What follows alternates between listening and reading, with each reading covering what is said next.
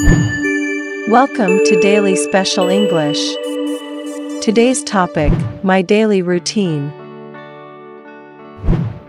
Hey there. I thought I'd share with you my daily routine. Every morning, I wake up early, usually around 6 a.m. I start my day with a cup of coffee and some breakfast, usually toast or cereal. Then, I get ready for the day by taking a shower and getting dressed. Once I'm all set, I head out to work. I work at a local bookstore, which I absolutely love.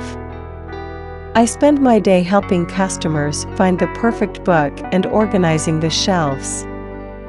After work, I like to unwind by going for a walk or doing some yoga.